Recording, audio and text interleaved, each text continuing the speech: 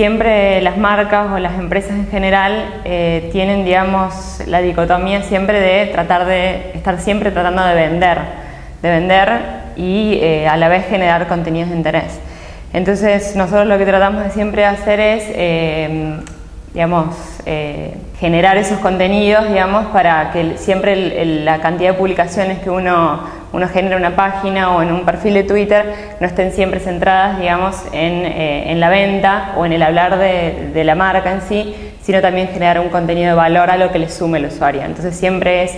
tratar de hablar de uno, pero sin hablar de uno. Me parece que los medios digitales hoy en día están teniendo una fuerte influencia en cómo la gente está interrelacionándose con las marcas y a la vez con los medios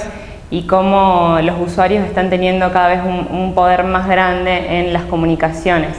Eh, las redes sociales, Facebook, Twitter, los blogs en un principio fueron las primeras puertas que tuvieron los usuarios para eh, mostrar sus opiniones y a la vez funcionan, pueden ahora los usuarios funcionar